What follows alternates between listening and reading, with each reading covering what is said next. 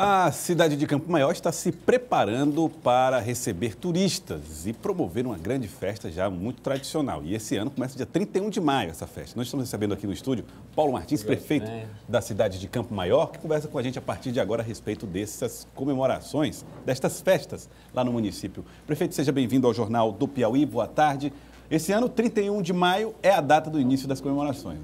Boa tarde, Joelso. Boa tarde, Ali. Boa tarde. É 31 de maio ao 13 de junho, são 14 dias de atividades, são as festas juninas dentro do festejo de Santo Antônio, que é a festa religiosa, mas termina sendo uma festa cultural e econômica que gera renda para o município de Campo Maior, onde os pais, as mães, os filhos retornam para a sua terra que às vezes estão morando fora, é aquele momento de entusiasmo, de motivação, de, com o de autoestima de do povo de Campo Maior. Mas também de muitas pessoas que eh, não são da cidade, não têm ligação com a cidade, mas gostam das festas, acabam também comparecendo. Nós recebemos em média, do dia 31 ao dia 13, mais 100 mil pessoas a mais do que tem no município de Campo Maior.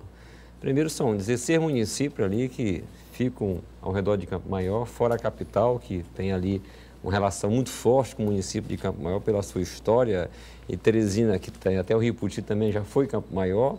Então, Teresina gosta muito de Campo Maior, mas vem gente de todo o Brasil, até às vezes também de Portugal, porque tem ligações de pessoas de Campo Maior com Portugal.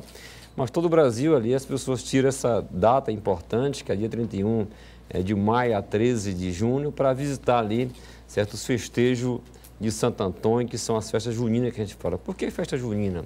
Porque tem muita atividade é, cultural, religiosa, é, na dia 31 tem a procissão, após tem a novena, e aí tem as barracas para visitar, já tem shows culturais ali, a, com a abertura de várias atrações culturais, como Home Mata, Forró Real, durante o período, a, né? A programação, né? A Brasa do Forró, tem as bandas locais também, Marcelo Ferreira, é, outras bandas locais, são 14 bandas locais, mas ali oito nacionais é, que cria a condição de a gente ter ali atratividade para levar o povo para Campo Maior. Mas tem muitas coisas também, tem torneio de ciclismo durante o período dos festejos de junho, com pessoas de todo o Nordeste, tem torneio de motocross com o passeio, tem a festa do vaqueiro, que é muito famosa em Campo Maior.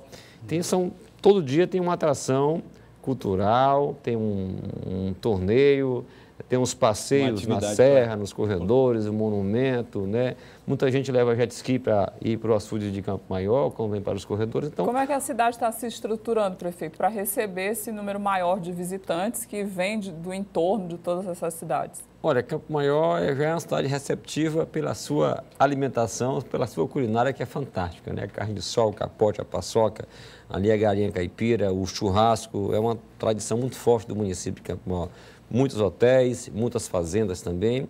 E o povo também se entusiasma, levanta autoestima para recepcionar tantas pessoas que vêm de fora como seus parentes. Então, nós praticamente ali tem dia que dobra a população de Campo Maior, que são os finais de semana. Então, o município de Campo Maior, que já sempre é preparado, nós nesse ano investimos muito em mobilidade urbana, com ciclovias, com mais asfalto, com estrutura ali mais adequada para se direcionar para os bairros também com asfalto, mas criamos a condição de ter uma relação melhor ali com restaurante, com hotéis, para que possa se estruturar para receber todos os furion, todas as pessoas que vêm visitar o nosso município em Campo nesse período festivo. Uhum. Existe uma, uma, uma, realização também de obras de estrutura, estruturais no município nesse período. Como é que a cidade está se preparando, não só para esse período de agora, dos, dos festejos, mas também para garantir aos campos maiorenses que eles tenham melhor qualidade, no, principalmente nessa parte de mobilidade urbana? Com certeza. Campo Maior nós fizemos agora uma nova avenida, que é a Avenida Luiz Portela, que fica na margem do Rio Surubim. É, durante, durante o período de inverno, nós temos agora uma barragem na zona urbana de Campo Maior com essa avenida, onde as pessoas têm sala de lazer, como também tem a avenida que estamos agora construindo, encerrando até o dia 5 a 6 é, de junho, que liga Campo Maior à região da Fazendinha, que passa pelo IF, são dois, quase 2 quilômetros de uma nova avenida, que essa outra também é um quilômetro. Então, a mobilidade urbana, nós praticamente asfaltamos todo o centro de Campo Maior, como as principais ruas do bairro de Campo Maior, tudo isso para reduzir o trânsito em algumas ruas e melhorar o fluxo de carro de Campo Maior. A gente percebe que o fluxo agora está bem melhor. Né? Muita gente vindo para Campo Maior, mas tem novas avenidas funcionando com asfalto, com ciclovia, para criar a condição de dar um conforto maior. E a gente tem muito orgulho de ser Campo Maurense, porque está tendo investimento e está tendo ali a condição de a gente perceber que tem desenvolvimento em Campo Maior. Eu queria agradecer o prefeito de Campo Maior, aqui no estúdio do Jornal do Piauí, nos visita quero... e falar a respeito Pô, desse É um evento. prazer. Eu queria aproveitar aqui esse Pois não. momento importante nesse canal de televisão que tem uma repercussão em todo o Piauí, é para convidar, convidar certos piauienses que estão aqui morando em Teresina, que são os campomorenses, que estão fora do Piauí também, que estão em outros, estados, para ir ao nosso festejo. No dia 31 começa com a procissão, depois tem a parte eh, cultural, no dia 1 já tem atividade até o dia 13. Todos os dias tem tanto a parte religiosa como a parte cultural.